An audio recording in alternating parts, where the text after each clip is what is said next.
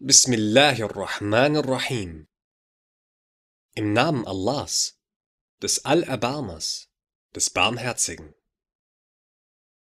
Assalamu alaikum, meine lieben kleinen Geschwister im Islam.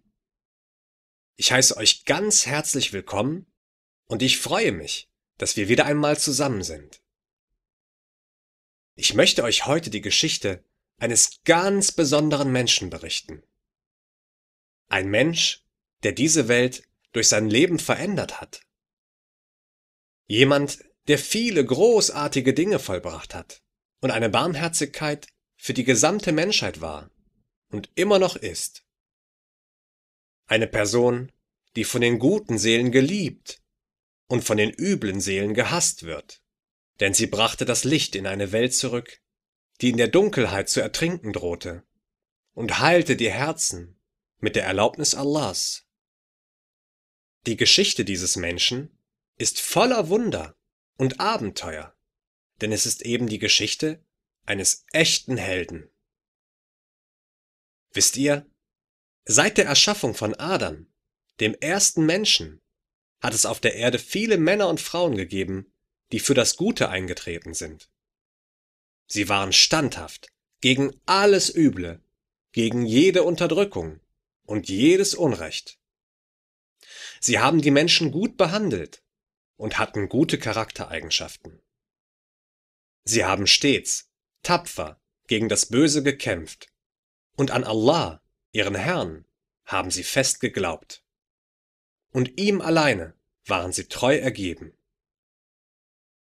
Und von diesen großartigen Menschen hat Allah die Besten auserwählt und hat sie zu Propheten gemacht. Dann schickte er sie zu ihren Völkern, um sie zu lehren, was das Gute und was das Schlechte ist. Er schickte sie als Vorbilder für die Menschen, um ihnen zu zeigen, wie sie friedlich miteinander und im Gehorsam zu Allah leben können. Und er schickte sie zu den Menschen, um ihnen zu zeigen, wie sie Allah, ihren Herrn, anbeten können. Von diesen großartigen Propheten erwählte Allah sich fünf an der Zahl, die er besonders ehrte. Diese fünf hatten einen besonderen Charakter und eine besonders starke Gottesliebe. Sie waren die vornehmsten Menschen bei Allah und die besten Vorbilder für die gesamte Menschheit. Der erste von ihnen hieß Nuh. Danach kam Ibrahim. Dann erschien Musa und anschließend Isa. Möge Allahs Frieden und Segen mit ihnen allen sein.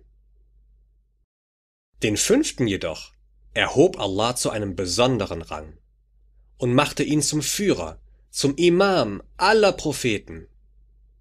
Dieser Mensch wurde von Allah mehr geehrt als alle anderen Geschöpfe.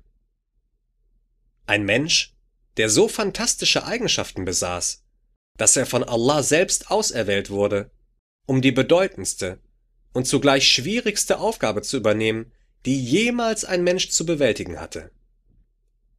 Eine Aufgabe, die all seine Kräfte aufzehren und ihm mehr abverlangen würde, als je ein Mensch zu leisten vermochte. Denn er bekam die Aufgabe, der gesamten Menschheit den wahren Glauben an Allah zu lehren und ihnen allesamt den Weg ins Paradies zu weisen. Und unter allen vortrefflichen Menschen konnte es nur einen geben, der in der Lage war, diese gewaltige Bürde zu tragen. Es war der edelste, der fünf großartigsten Propheten, der Auserwählte. Sein Name war Muhammad sallallahu alaihi wasallam. Möge Allahs Segen und Frieden auf ihm sein. Doch bevor ich inshallah gleich damit beginne, euch seine Geschichte zu erzählen, möchte ich euch noch berichten, warum es für uns wichtig ist, seine Geschichte zu kennen. Wisst ihr, diese Geschichte ist kein Märchen, das sich irgendjemand ausgedacht hat. Nein, diese Geschichte ist tatsächlich passiert. Und es ist eine Geschichte, aus der wir sehr viel lernen können. Denn Allah subhanahu wa ta'ala hat uns seinen Gesandten Muhammad sallallahu alaihi wasallam als ein Vorbild gesandt. Ein Vorbild, dem es sich lohnt nachzueifern, denn er war der beste aller Menschen. Und je mehr wir ihm nacheifern, desto bessere Menschen werden wir selbst. Möge Allahs Segen und Frieden mit diesem edlen Gesandten sein. Amin. Unsere Geschichte beginnt jedoch schon viele Jahrhunderte vor der Geburt des Propheten. Wir befinden uns irgendwo in einer Wüste, mitten in der arabischen Halbinsel. Die Sonne brennt erbarmungslos in einem wolkenlosen Himmel, der so hell erleuchtet ist, dass er schon mehr weiß als blau erscheint. Weit und breit ist nichts zu sehen, außer Sand und Stein. Kein Baum, kein Strauch, nicht das kleinste Gewächs ist zu sehen, und erst recht keine Menschenseele. Wer sollte sich auch in eine so karge, unwirtliche Gegend verirren? Und warum? Obwohl, wenn man genau in Richtung Norden schaut, erkennt man zwei kleine Punkte am Horizont. Ist dies nur eine Fata Morgana? Oder zieht dort tatsächlich jemand seines Weges? Nein, tatsächlich. Die kleinen Punkte kommen näher. Und ich glaube, es sind zwei Personen. Ja, wirklich. Jetzt erkennt man sie genau. Da kommt ein alter, weißhaariger Mann mit einem langen weißen Bart und eine Frau. Ja, und ich glaube, da ist noch jemand. Ja, richtig. Die Frau trägt ein kleines Kind auf dem Arm. Was hat diese drei bloß hierher verschlagen? Ob sie sich verirrt haben? Nun bleiben sie auf einmal stehen. Der Mann schaut sich die Frau und das kleine Kind lange an. Jetzt dreht er sich um und geht in die gleiche Richtung, aus der er doch eben erst gekommen war. Verwirrt schaut ihm die Frau nach und ruft O Ibrahim, wohin gehst du? Lässt du mich mit deinem Sohn hier alleine, unter der heißen Sonne? Wieso tust du dies? Scheinbar unbeeindruckt läuft der Mann weiter und schaut sich nicht um. Die Frau hält für einen Augenblick inne und ruft nach kurzer Überlegung O Ibrahim, hat Allah dir dies befohlen? Der Mann nickt mit dem Kopf, ohne sich umzudrehen, und geht weiter seines Weges. Die Gesichtszüge der Frau entspannen sich langsam. Nun, da sie weiß, dass es sich um Allahs Fügung handelt, ist sie beruhigt, denn sie ist eine tugendhafte, gläubige Frau, die auf Allah, ihren Herrn, vertraut. Ihr Name ist Hajar und der kleine Knabe auf ihrem Arm heißt Ismail, Sohn des gewaltigen Propheten Ibrahim. Möge Allahs Frieden auf ihnen allen sein. Es gehörte wohl zum Schicksal Ibrahims, in seinem Leben immer wieder schwer von Allah geprüft zu werden. Dies war jedoch keine Strafe von Allah, im Gegenteil. Denn dadurch, dass Ibrahim immer wieder all die schwierigen Prüfungen bestand, stieg er in der Gunst Allahs bis in die höchsten Rangstufen auf und war ihm sehr nah. Dies brachte Ibrahim den Titel Khalilullah ein, was übersetzt so viel bedeutet wie der innigste Freund Allahs. Und es gehört eben zur Weisheit Allahs, dass er denen seiner Diener, die er besonders liebt, auch die schwersten Aufgaben stellt, um sie für die Lösung dieser Aufgaben dann auch besonders großzügig zu belohnen. Und diesmal prüfte Allah ihn auf eine besondere Art und Weise, denn nachdem Ibrahim nun schon ein alter Mann geworden war, hat Allah ihm endlich sein Bittgebet erfüllt und ihm zusammen mit seiner Magd Hajar einen Sohn geschenkt. Sie nannten das Kind Ismail und liebten es auf besondere Art und Weise. Ibrahim war wirklich sehr glücklich über seinen Sohn. Doch eines Nachts kam der Engel Jibril zu Ibrahim. Er kam, um den Befehl Allahs zu übermitteln. Geh mit Hajar und Ismail hinab nach Süden, in die Wüsten Arabiens. Dann lasse die beiden in dem heiligen Tal zurück, Gehe und wende dich nicht um. Jibril, der gewaltige Engel Allahs, wandte sich ab und verließ Ibrahim wieder. Für einen Moment wurde ihm bang ums Herz. Meinen geliebten Sohn in einer Wüste zurücklassen. Doch im nächsten Augenblick fasste er sich, denn er vertraute auf Allah, seinen Herrn, und wusste sicher, dass er ihm keinen Schaden zufügen würde. Allahs Befehl musste unter allen Umständen ausgeführt werden, koste es, was es wolle. Sogleich fand sein Herz wieder Ruhe im Gedenken an Allah, den er mehr liebte als alles andere. Und so kamen sie also in dieses Wüstental, in dem es weder Wasser noch Früchte gab. Nachdem Ibrahim sich in Richtung Norden davonmachte, bat er Allah, seine Familie zu versorgen. Hajar blieb mit Ismail zurück. Sie saßen zunächst eine Weile und ruhten sich von den Strapazen der Reise aus. Hajar wusste, dass ihre Vorräte nicht allzu lange reichen würden. Doch sie wusste auch, dass Allah sie sicher nicht im Stich lassen würde. Als ihr Proviant nun verbraucht, die letzte Dattel gegessen, der letzte Tropfen Wasser getrunken war, wurde Hajar allmählich beunruhigt. Der kleine Ismail hatte bereits großen Durst und fing schon an zu weinen. Wo sollte sie bloß Wasser finden in dieser Wüste? Nicht weit von ihnen entfernt gab's zwei Hügel. Der eine, näher gelegene von beiden, bekam später den Namen Safa. Der andere, weiter entfernte Hügel wurde später Marwa genannt. Vielleicht könnte man von den Hügeln aus in die Ferne schauen und möglicherweise eine Karawane entdecken, von der sie etwas Wasser bekommen könnten. Hajar lief zum Hügel Safa, stieg hinauf und blickte umher. Weit und breit nichts als Stein und Sand. Sie lief von Safa hinab in Richtung Marwa. Doch auch vom Hügel Marwa aus konnte sie nichts entdecken. Wieder lief sie zurück, und während sie zwischen den beiden Hügeln hin und her lief und Ismail weinen hörte, fühlte sie allmählich Verzweiflung in sich aufsteigen. Sie betete zu Allah, ihnen zu helfen und sie aus ihrer Not zu befreien. Ein viertes Mal erreichte sie den Hügel Marwa und schaute sich abermals um. Immer noch nichts. O Allah, hilf uns, flehte sie und blickte zu ihrem Sohn und erschrak. Was war denn das? Direkt neben Ismail sah sie eine ungewöhnliche Gestalt. Eine Gestalt, die sie noch nie in ihrem Leben gesehen hatte. Dies war sicher kein Mensch. Nein, es musste ein Engel sein. War dieser von Allah gekommen, um uns zu retten? Hoffnung keimte in ihr auf, und sie lief auf die beiden zu.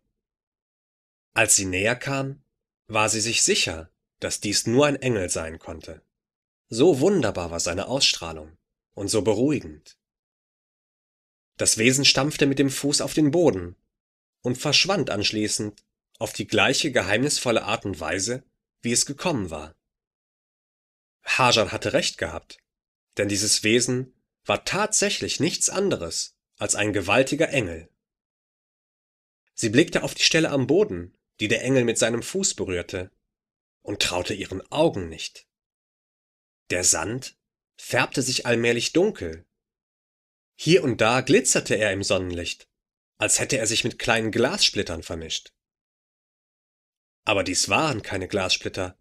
Nein, es waren Subhanallah, es waren kleine Wassertröpfchen.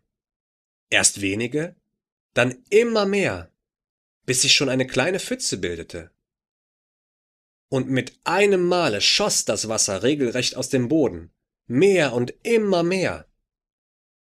Hajar konnte ihr Glück gar nicht fassen.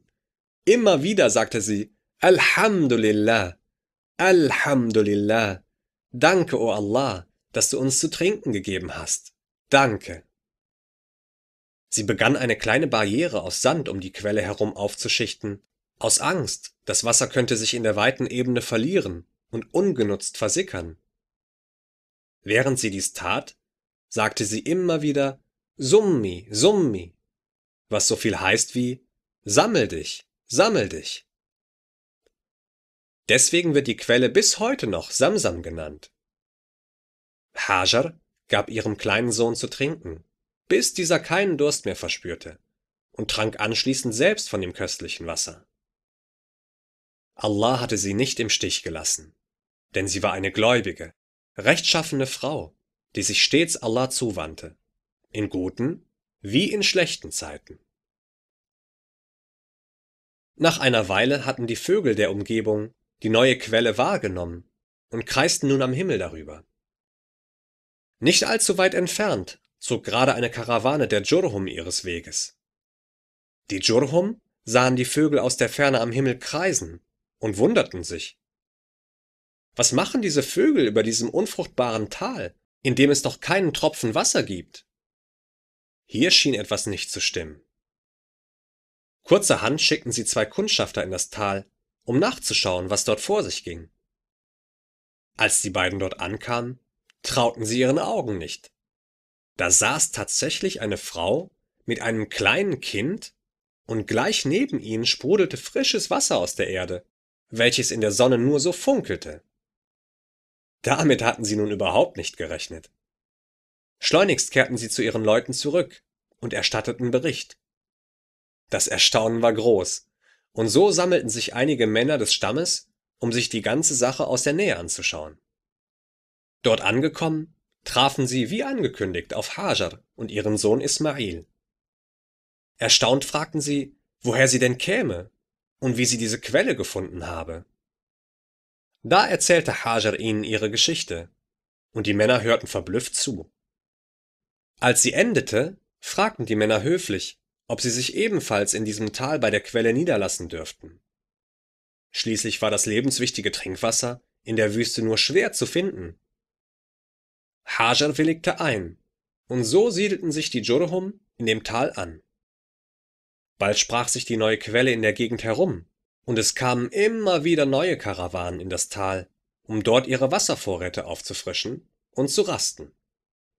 Sie brachten ihnen alles mit, was sie ansonsten an Kleidung und Nahrung zum Leben brauchten, aber eben im Tal nicht finden konnten. Mit der Zeit ließen sich immer mehr Angehörige der Dschurhum dort nieder. Dies war die Geburtsstunde der gesegneten Stadt Mekka. Allah hatte das Bittgebet Ibrahims erhört, welche Allah für seine Familie gebeten hatte, als er sprach, So mache ihnen die Herzen der Menschen zugeneigt und versorge sie mit Früchten, damit sie dankbar sein mögen. Und alles Lob gebührt Allah, dem Herrn der Welten.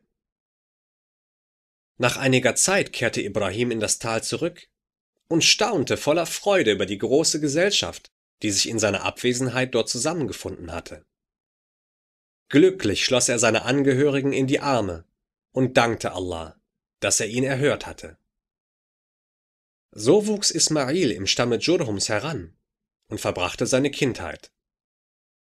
Immer wieder kehrte Ibrahim für eine Weile nach Makka zurück, um ihn und seine Mutter Hajar zu besuchen.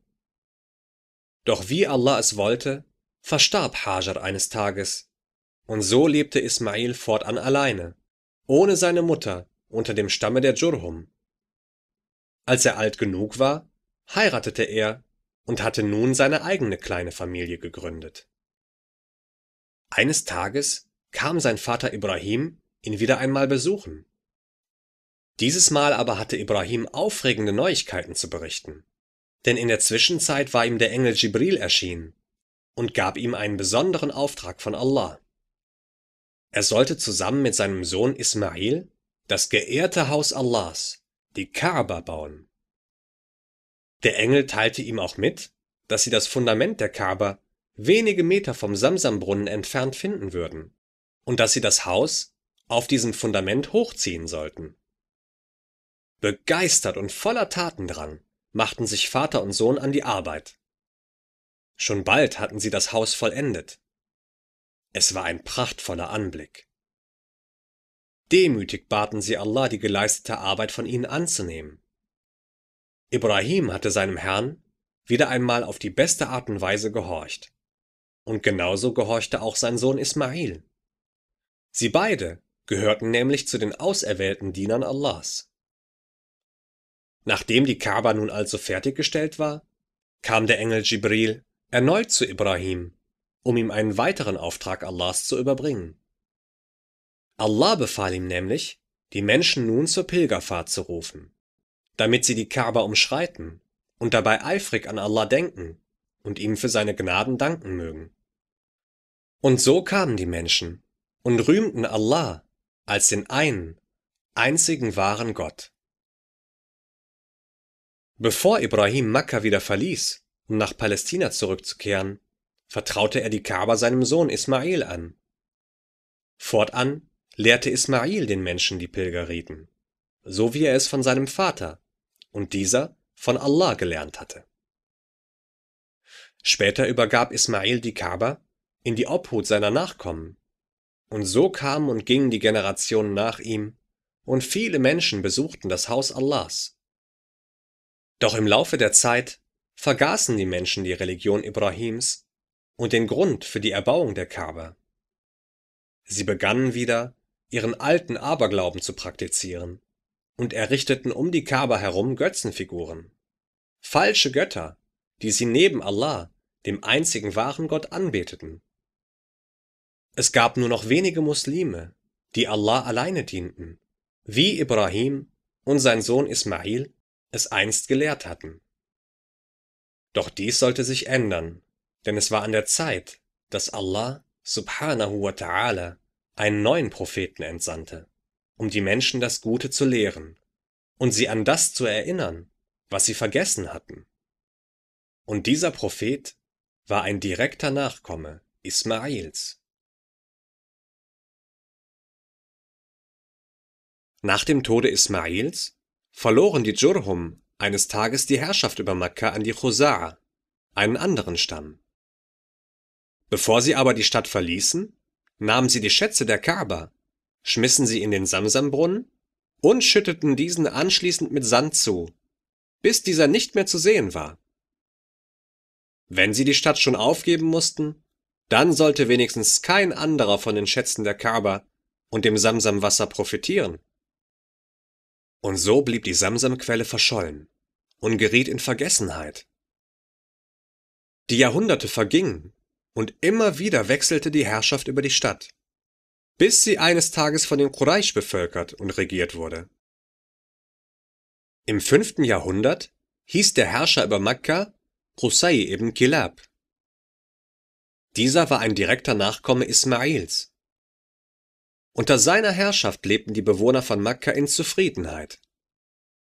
Zum ersten Mal in der Geschichte wurden dort richtige Häuser gebaut, denn bisher lebten die Menschen noch in Zelten. Qusay ließ auch eine Art Rathaus bauen, in dem über alle wichtigen Angelegenheiten beraten wurde.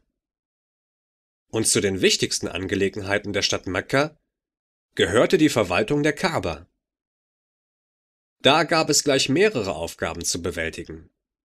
Die wichtigste Aufgabe war die Versorgung der Pilger mit Wasser, was gar nicht so einfach war, denn der Samsambrunnen war ja verschüttet und keiner wusste, an welcher Stelle er sich befand und wo man hätte graben müssen. Also musste das Wasser von weit entfernten Orten hergeschafft werden. Auch mussten die Pilger mit Essen versorgt werden. Zu diesem Zweck verpflichtete Qusay die Quraysh, diese Aufgabe gemeinsam mit ihm zu bewältigen. Nach dem Tode Qusays wurden diese Ämter alle an seine Söhne übertragen, und später übernahm sie dann Abdul Muttalib, sein Urenkel. Abdul Muttalib war ein hübscher, kräftiger Mann. Er hatte ein freundliches Wesen und war ausgesprochen großzügig. Sein Sohn Harith half ihm bei der Beschaffung des Trinkwassers und arbeitete sehr, sehr hart. Es schmerzte Abdul Muttalib zu sehen, wie sehr sich sein Sohn abmühte. Ach, wäre doch der Samsambrunnen nicht verloren gegangen. Abdul Muttalib dachte immer häufiger an die verlorene Quelle aus alter Zeit. Wenn man diese nur wiederfinden könnte. Mit ihrer Hilfe wäre es viel leichter, die Pilger zu tränken. Eines Nachts träumte Abdul Muttalib von einer Stimme, die ihn aufforderte, nach dem Samsambrunnen zu graben. In den beiden nächsten Nächten hatte er den gleichen Traum. Grabe nach Samsam, sprach die Stimme. In der vierten Nacht fragte Abdul Muttalib, und wo finde ich Samsam? Da beschrieb ihm die Stimme die genaue Lage des Brunnens. Am nächsten Morgen stand er mit seinem Sohn Harith nicht weit von der Kaaba entfernt, genau zwischen zwei Götzenfiguren, und grub ein großes Loch in die Erde. Als die Quraysh dies sahen, waren sie empört. Wie konnten die beiden es wagen, genau zwischen ihren Götzen ein Loch zu graben?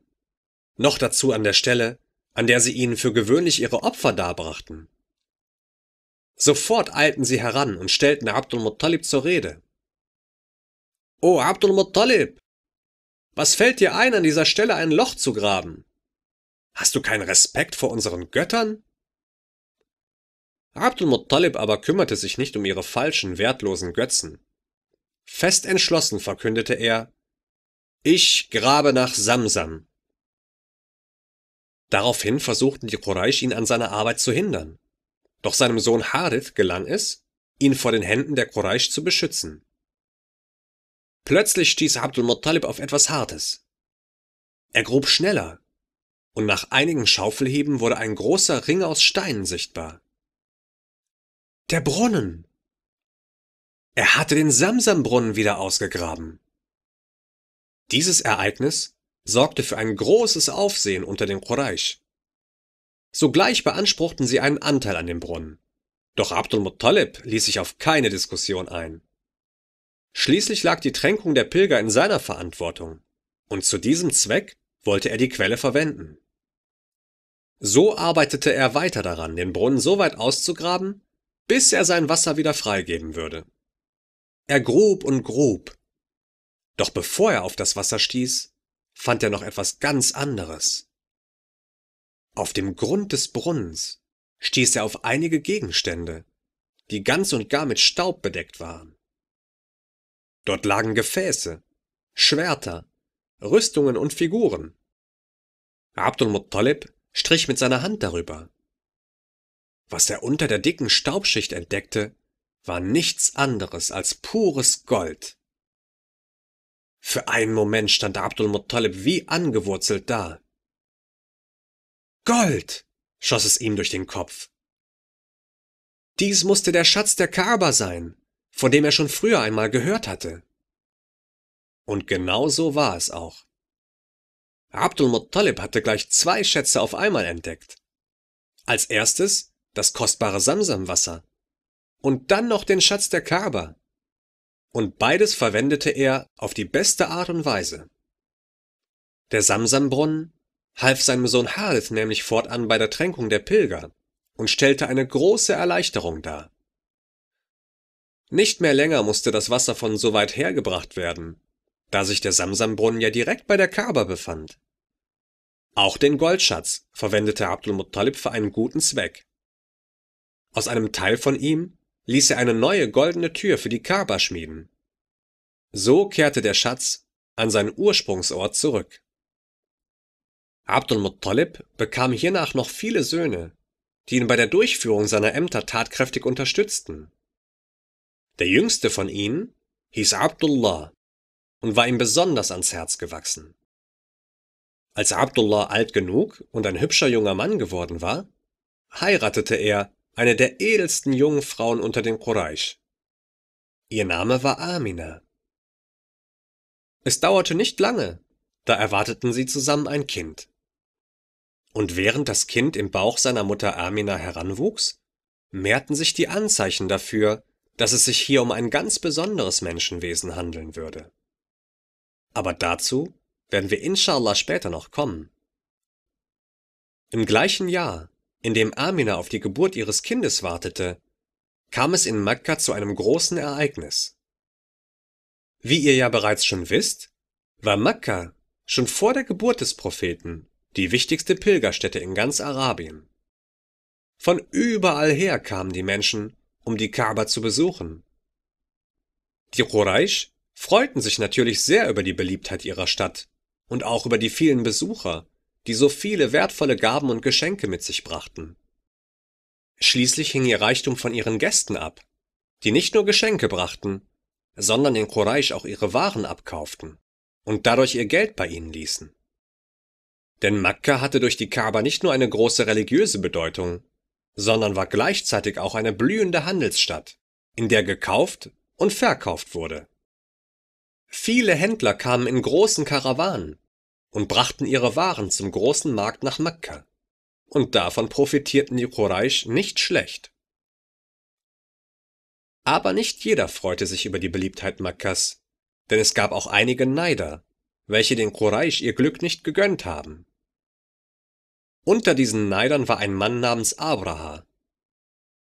Abraha war ein Statthalter des abessinischen Königs und hielt das südlich gelegene Jemen besetzt.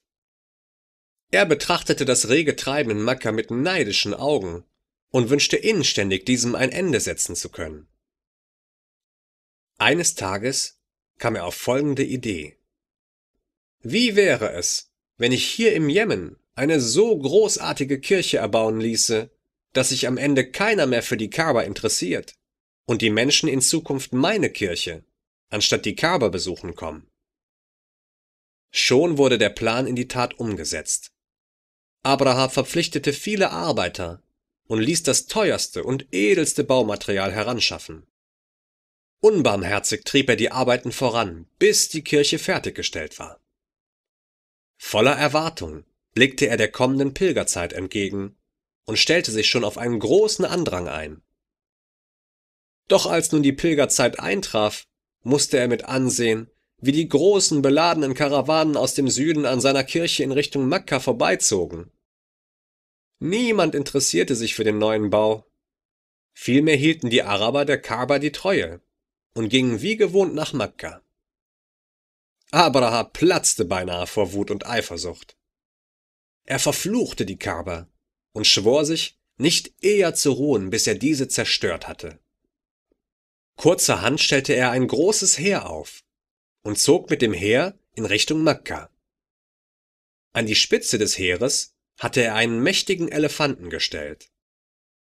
Dieser sollte genug Kraft haben, die Kaaba einzureißen und zu zerstören. Nach einem langen Marsch durch die Wüste erreichten sie schließlich den heiligen Bezirk von Mekka. Um die Stadt herum weideten die Quraysh ihre Viehherden. Abraha erbeutete sie allesamt und nahm sie einfach an sich. Unter den Tieren befand sich auch eine große Herde Kamele, die Abdul Muttalib gehörten. Es waren an die 200 Tiere. Als Abdul Muttalib davon erfuhr, dass Abraha seine Kamele geraubt hatte, ging er mit einem seiner Söhne zu Abraha, welcher mit seiner Armee immer noch vor der Stadt lagerte. Abraha war beeindruckt von der Erscheinung Abdul Muttalibs und deshalb auch einverstanden mit ihm zu verhandeln. Doch Abdul Muttalib forderte lediglich seine 200 Kamele zurück, die Abraha ihm gestohlen hatte. Abraha war schockiert. O Abdul Muttalib, ich bin gekommen, um die Kaaba zu zerstören. Und du denkst nur an deine Kamele? Ganz ruhig antwortete Abdul Muttalib, ich bin der Hüter meiner Kamele. Die Kaaba, das Haus Allahs, hat ihren eigenen Hüter, der sie beschützen wird. Niemand wird die Kaaba gegen mich und meine Armee beschützen können, rief Abraha ihm zu.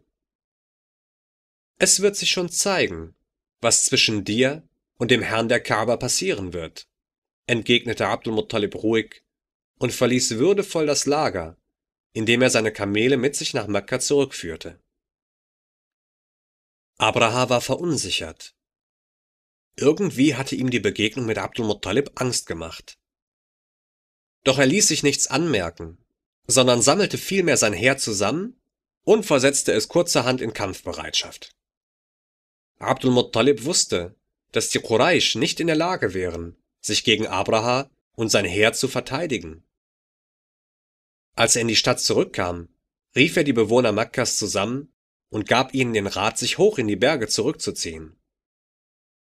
Anschließend ging er mit seinen Familienangehörigen zur Kaaba und betete zu Allah, die Kaaba zu beschützen. Danach gingen sie ebenfalls in die Berge und schauten von oben herab zu, was sich im Tal ereignete. Als sich das Heer nun aufgestellt hatte, kam Abraha aus seinem Zelt heraus, um den großen Elefanten zu besteigen und mit ihm zusammen das Heer anzuführen. Doch was passierte nun? Mit einem Male sank der Elefant auf seine Knie und rührte sich nicht mehr von der Stelle. Die Soldaten waren darüber höchst erstaunt. Nie zuvor haben sie einen Elefanten knien sehen. Sogleich versuchten sie den Elefanten dazu zu bewegen, aufzustehen. Doch all ihre Bemühungen schlugen fehl. Als Abraha dies sah, überkam ihn ein ungutes Gefühl, und er musste an die dunklen Andeutungen Abdul Muttalibs denken. Doch anstatt von seinem Vorhaben abzulassen, befahl er den Männern, den Elefanten zu zwingen, sich in Bewegung zu setzen. Da begannen sie den Elefanten zu schlagen, um mit Lanzen zu stechen, bis dieser vor Schmerzen schrie. Doch trotz aller Bemühungen blieb dieser auf seinem Platz sitzen. Plötzlich jedoch erhob sich der Elefant, drehte sich um in Richtung Jemen und lief einfach davon. Sogleich rannten die Männer hinter ihm her, bis sie ihn eingeholt hatten. Doch so sehr sie sich auch bemühten, sie schafften es nicht, ihn auch nur einen Schritt in Richtung Makka zu bewegen. Abraha dachte nach, wie er den Elefanten dazu bringen könnte, mit ihm nach Makka zu marschieren. Während er noch nachdachte, geschah plötzlich etwas Seltsames. Der Himmel schien sich zu verdunkeln, und es sah aus, als bewegte sich eine große dunkle Wolke auf sie zu. Als die Wolke näher kam, konnte man erkennen, dass es eben keine Wolke, sondern ein gewaltiger Schwarm Vögel war, die allesamt ganz dicht beieinander flogen. Die Vögel kreisten eine Weile über Abraha und seinen Männern, welche staunend die Köpfe in Richtung Himmel reckten. Mit einem Male fielen kleine Steine aus Ton auf die Männer herab, die sie mit ungeheurer Wucht trafen. Schon fielen die ersten von ihnen auf die Erde nieder und starben jämmerlich. Diejenigen aber, die noch nicht zu schwer getroffen waren, versuchten sogleich zu fliehen. Schwer verletzt und voller Angst machten sie ihren Weg zurück durch die Wüste in den Jemen. Viele von ihnen erlagen unterwegs ihren Verletzungen, so dass nur eine kleine Schar von Männern wieder im Jemen ankam, unter ihnen auch Abraha. Doch es dauerte nicht lange, bis auch diese ein qualvoller Tod ereilte. Nur wenige Männer der ursprünglichen Armee überlebten die Katastrophe so dass sie den Menschen später davon berichten konnten. Auch der wunderbare Elefant, der sich dem Schurken Abraha widersetzt hatte, blieb verschont. So waren sie in ihrer Feindseligkeit und ihrem Stolz gedemütigt und zurückgeschlagen worden. Allah, der Herrscher über Himmel und Erde, hatte sein Haus verteidigt, und er verfügt über die stärksten Armeen. Abraha war noch nicht einmal in die Nähe der Kaaba gekommen. Sein Plan war gescheitert, und er hatte seine Boshaftigkeit mit seinem Leben bezahlen müssen. Die Quraysh hatten das ganze Schauspiel von den Bergen aus beobachtet. Sie jubelten, als sie sahen, wie die Feinde in die Flucht geschlagen wurden. Erleichtert stiegen sie von den Bergen hinab und kehrten in die Stadt zurück. Sogleich machten sie sich daran, die Beute einzusammeln welche das Heer Abrahas bei seiner Flucht hinter sich gelassen hatte. Alle waren guter Stimmung und überglücklich. Schnell verbreitete sich die Geschichte von Abraha und seinem Heer in ganz Arabien, was die besondere Stellung der Quraysh noch bekräftigte. So schnell würde sich wohl keiner mehr wagen, sie anzugreifen. Das Jahr 570 ging in die arabische Geschichte ein und wurde fortan nur noch das Jahr des Elefanten genannt. Doch im gleichen Jahr geschah noch etwas viel Bedeutsameres, was später noch die ganze Welt bewegen sollte. Nicht lange nach dem Ereignis mit dem Elefanten wurde in Makka ein kleiner Knabe geboren. Seine Mutter hieß Amina und sein Vater Abdullah. Und der Name des Kindes war Muhammad sallallahu alaihi wasallam. Noch bevor Muhammad zur Welt kam, ging sein Vater Abdullah auf eine Handelsreise nach Palästina und Syrien. Auf dem Rückweg kam er nach Medina, wo er schwer erkrankte und dann starb. Ganz Mekka trauerte um Abdullah. Am schwersten traf die Nachricht von seinem Tod aber seine Frau Amina, die furchtbar traurig war. Nun war ihr Kind schon zur Halbweise geworden, noch bevor es überhaupt zur Welt kam. Der Gedanke an ihr kleines Baby war ihr einziger Trost. Sehnsüchtig wartete sie auf den Tag der Geburt. Eines Tages erlebte sie etwas Sonderbares. Sie hörte eine Stimme, die Folgendes sagte. Du hast den Führer dieses Volkes empfangen, so gib ihn in die Obhut des einzigen Gottes, vor dem Übel eines jeden Neiders, und gib ihm den Namen Muhammad, der Gepriesene. Nun kam endlich der Tag der Geburt, und Amina brachte durch die Gnade Allahs einen gesunden Knaben zur Welt. Wie die Stimme sie aufgefordert hatte, nannte sie ihn Muhammad, und dieser Name wurde keinem Menschen zuvor gegeben. Die Freude war unbeschreiblich groß. Gleich nach der Geburt schickte Amina einen Boten zu Abdul Muttalib, dem Großvater des Kindes, und ließ ihm von der Geburt Muhammads berichten. Sogleich eilte er zu seiner Schwiegertochter Amina, um das Kind zu betrachten. Freudig schloss er es in seine Arme und trug es zur Kaaba, wo er für das Kind betete. Muhammad verbrachte seine ersten Tage und es dauerte nicht lange, da begannen Amina und Abdul Muttalib sich Sorgen zu machen. Der kleine Junge könnte an einer Krankheit sterben.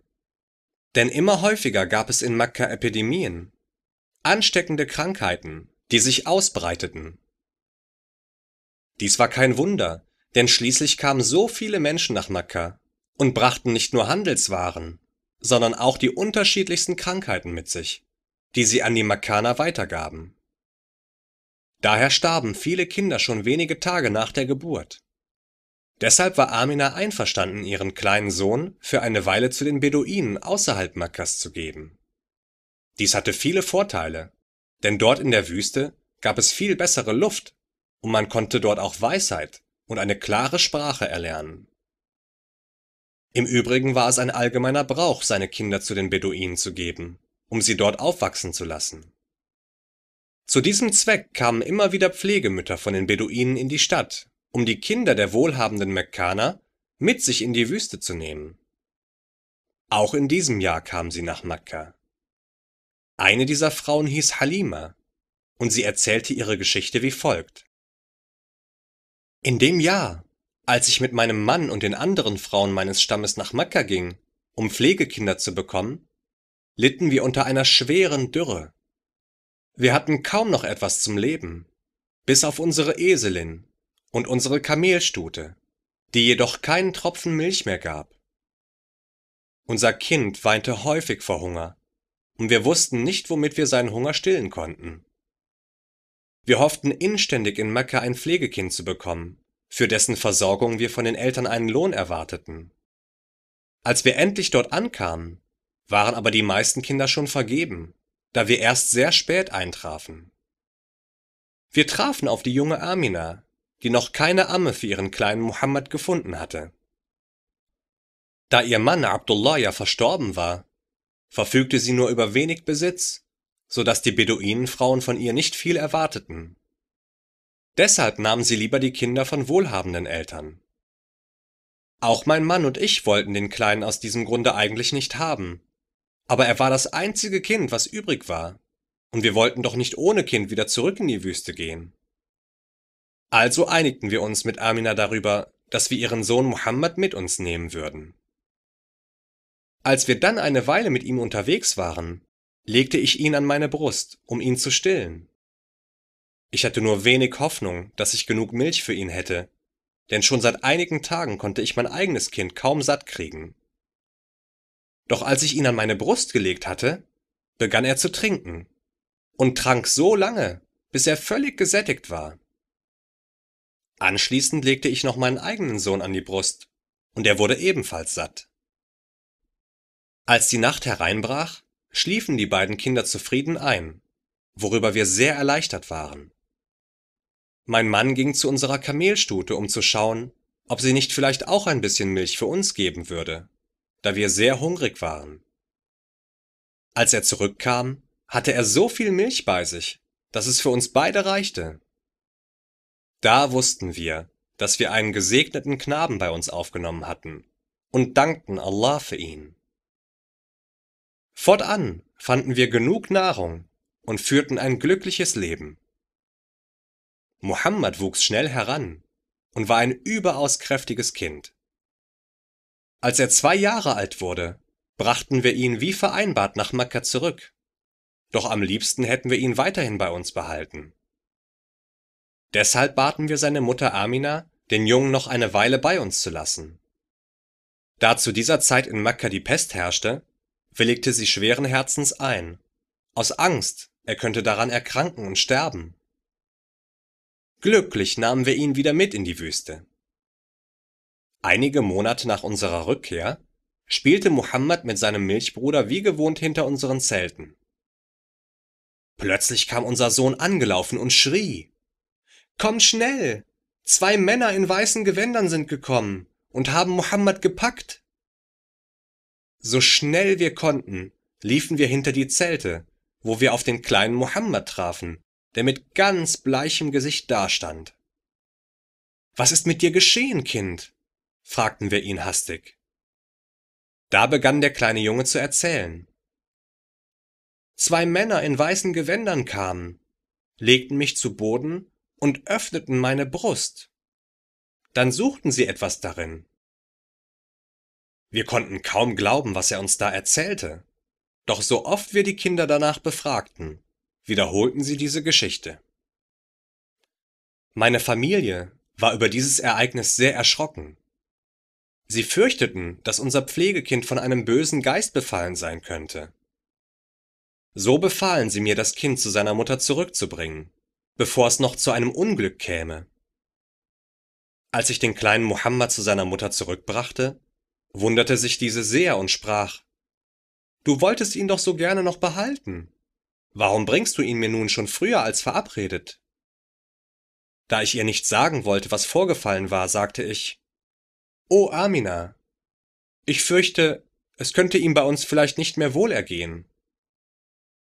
Doch sie glaubte mir nicht und wollte unbedingt wissen, warum ich ihn wirklich zurückbrachte.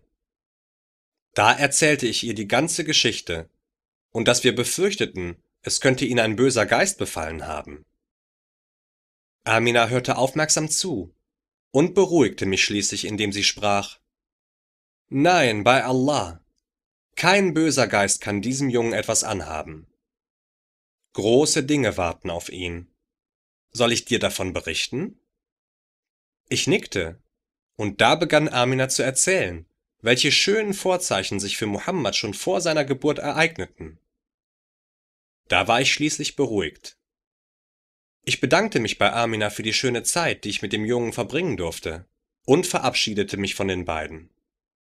Dann machte ich mich auf den Rückweg und ließ Mutter und Kind in Liebe vereint zurück. Dies, meine lieben kleinen Geschwister, war der Bericht von Halima, der Amme des Propheten, sallallahu alaihi wasallam. Amina und ihr Sohn Muhammad waren nun überglücklich wieder beisammen zu sein. Nun begann Muhammad seine Familie kennenzulernen, von der er sehr geliebt und herzlich aufgenommen wurde. Vor allem seinen Onkel Hamza und seine Tante Sophia, die etwa im gleichen Alter waren, mochte er besonders, und die drei wurden unzertrennliche Kameraden. So durchlebte er in Makka eine glückliche Zeit. Als der kleine Muhammad etwa sechs Jahre alt war, beschloss seine Mutter Amina mit ihm zusammen nach Madina zu reisen, um das Grab seines Vaters Abdullah, ihres verstorbenen Mannes, zu besuchen.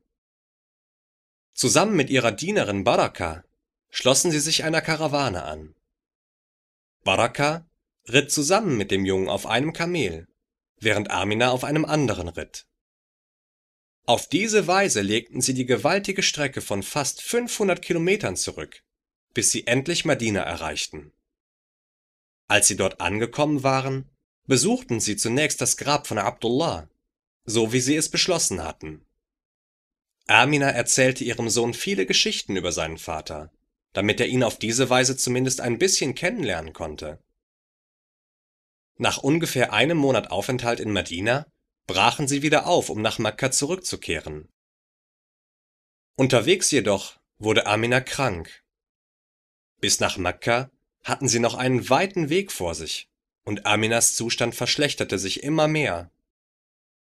So passierte es, dass sie bei einer Ortschaft zwischen Medina und Mekka verstarb. Weinend schloss der kleine Muhammad sie in seine Arme, während Baraka, die Dienerin, ihr Möglichstes tat, den Jungen zu trösten. Voller Trauer begruben sie Amina in der Ortschaft, wo sie gestorben war, und zogen schweren Herzens weiter nach Mekka. Muhammad war nun also im Alter von sechs Jahren zum Waisenkind geworden. Beide Eltern, Vater und Mutter, waren ihm gestorben, und die Trauer darüber lastete schwer auf seinem kleinen Herzen. Nachdem sie nach Mekka zurückgekehrt waren, kam Muhammad in die Obhut seines Großvaters Abdul Muttalib.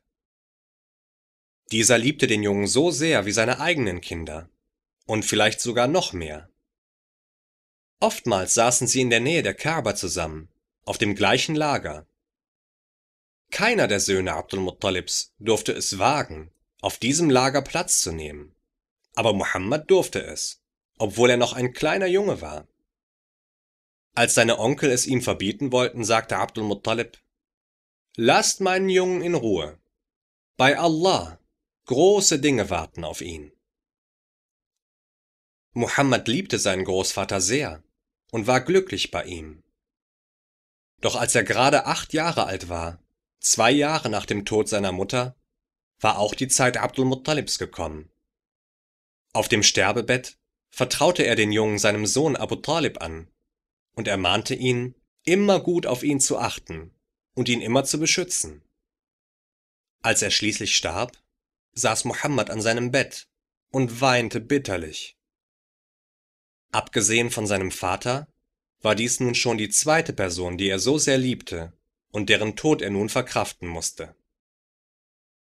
Für Abu Talib war der Tod seines Vaters Abdul Muttalib auch ein großer Verlust. Dennoch gab er sich alle Mühe, seinen Neffen Muhammad zu trösten und kümmerte sich rührend um ihn. Auch er liebte den Jungen innig, und seine Frau Fatima wurde für ihn schon bald wie eine zweite Mutter. Abu Talib war recht arm, und so versuchte Muhammad sich schon bald selbst zu versorgen. Er war sehr fleißig und hilfsbereit und begann für einen kleinen Lohn Schafe und Ziegen zu hüten.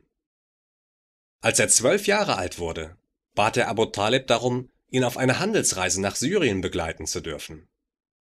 Abu Talib erlaubte es ihm, und so schlossen sie sich einer Karawane an. Als sie nach Bosra in Syrien kamen, machten sie in der Nähe eines kleinen Klosters Rast. In dem Kloster lebten christliche Mönche, die über viele alte Schriften verfügten. In einem dieser Bücher stand etwas über einen Propheten, der unter den Arabern erscheinen würde. Gerade zu der Zeit, als die Karawane aus Mekka in Bosra eintraf, lebte in dem Kloster ein Mönch namens Bahira. Dieser kannte das Buch sehr genau und wartete schon seit langer Zeit sehnsüchtig auf die Ankunft des darin beschriebenen Propheten. Viele Male hatte er die Reisenden aus Mekka ankommen sehen, doch dieses Mal fiel ihm etwas Besonderes auf. Er sah nämlich, wie eine Wolke die Gruppe beschirmte, so dass sie immer im Schatten wanderte. Bahira trat aus seinem Kloster heraus auf die Reisenden zu und lud sie ein. O Quraish! Ich möchte, dass ihr alle zum Essen kommt, egal ob jung oder alt, ob Diener oder freier Mann. Die Quraish wunderten sich, denn so viele Male waren sie schon nach Bosra gekommen, doch niemals zuvor hatte Bahira sie eingeladen. Natürlich nahmen sie die Einladung dankbar an, denn sie hatten eine anstrengende Reise hinter sich. Bahira freute sich, denn er wollte herausfinden, ob sich unter diesen Leuten vielleicht der erwartete Prophet befand. So traten die Quraysh in das Kloster ein. Nur Muhammad blieb bei ihren Sachen zurück um diese zu bewachen. Schon damals war er für seine Ehrlichkeit unter seinen Leuten bekannt. Bahira musterte seine Gäste aufmerksam und versuchte bei ihnen die Merkmale des Propheten zu erkennen, welche er aus dem Buch kannte. Doch nachdem er jeden einzelnen Gast aufmerksam betrachtet hatte, musste er feststellen, dass keiner von ihnen die Kennzeichen des neuen Propheten an sich hatte. Waren vielleicht doch nicht alle gekommen? Noch einmal rief er.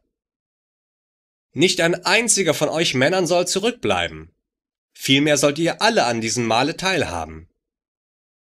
Da sprachen die Quraysh.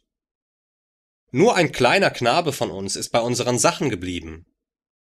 Oh nein, auch er ist eingeladen, denn er gehört ja zu euch, sprach Bahira.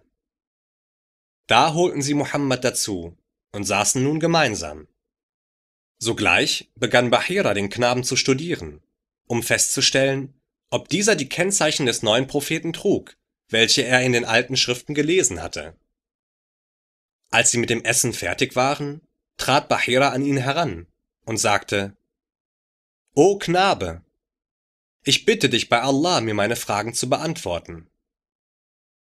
Muhammad hatte nichts dagegen, und so begann der Mönch ihn über seine Träume, seine Körpermerkmale und andere Dinge zu befragen. Alles, was der Junge sagte, stimmte mit den Beschreibungen aus dem Buch überein. Anschließend schaute er sich den Rücken des Jungen an und entdeckte zwischen seinen Schultern das Siegel des Prophetentums, ein kleines ovales Muttermal. Nun hatte Bahira keinen Zweifel mehr daran, dass der letzte Prophet Allahs erschienen war. Als er Muhammad zu seinem Onkel Abu Talib zurückbrachte, fragte er diesen, in welcher verwandtschaftlichen Beziehung er zu dem Jungen stand. Er ist mein Sohn, antwortete Abu Talib fälschlicherweise. Das ist unmöglich, antwortete Bahira, denn sein Vater dürfte nicht mehr am Leben sein.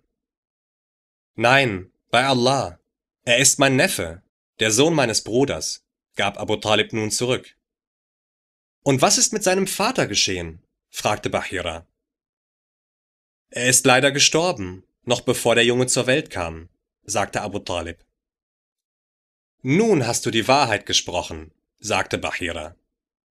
Bring den Jungen in seine Heimat zurück und beschütze ihn vor den Juden. Denn wenn die Juden über ihn wüssten, was ich über ihn weiß, dann würden sie ihm Schlimmes antun. Wahrlich, große Dinge warten auf deinen Neffen. So bringe ihn schnell zurück. Nachdem Abu Talib seine Geschäfte in Syrien erledigt hatte, eilte er mit Muhammad nach Mekka zurück. Muhammad wuchs heran und wurde langsam ein Jugendlicher. Bald war er unter seinem Volk für seinen edlen Charakter bekannt. Er war sehr treu und immer freundlich. Niemand war ehrlicher und vertrauenswürdiger als er. Die Quraysh nannten ihn sogar Al-Amin, der Vertrauenswürdige, und bewahrten ihre Wertsachen bei ihm auf. Sie vertrauten ihm ihre Waren an, welche er mit den Handelskarawanen ins Ausland brachte. Zu dieser Zeit lebte auch eine reiche Kaufmannswitwe in Mekka. Ihr Name war Khadija, und ihr waren bereits zwei Ehemänner verstorben. Sie hatte schon einige Berichte über die Ehrlichkeit und den vornehmen Charakter Mohammeds gehört, so dass sie begann, sich für ihn zu interessieren. Sie bot ihm an, ihre Handelskarawane nach Syrien zu bringen. Muhammad war zu diesem Zeitpunkt 25 Jahre alt. Khadija bezahlte ihn äußerst großzügig und gab ihm sogar einen Diener namens Maisara mit auf die Reise. Als die beiden mit der Karawane in Syrien ankamen, setzte sich Muhammad unter einen Baum, um sich auszuruhen. Nicht weit entfernt lag ein Kloster, das einem Mönch namens Nestor gehörte. Nestor wandte sich an Maisara, den Diener, und fragte ihn, Wer ist dein Gefährte, der dort unter dem Baum sitzt? Er gehört zum Stamm der Quraysh, zu den Hütern der Kaaba, antwortete Maisara. Nestor sagte ihm, dass bisher nur Propheten unter diesem Baume gesessen haben. Maisara war verwundert über die Worte des Mönches. Er hatte schon gemerkt, dass Muhammad ein ganz besonderer Mensch war. Die Art und Weise, wie er mit ihm und auch mit anderen Menschen umging, war so voller Güte und Liebenswürdigkeit.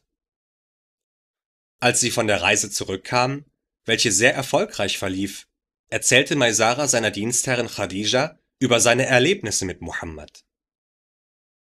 O Khadija, sprach er zu ihr, du hast mich mit ihm geschickt, damit ich ihm diene.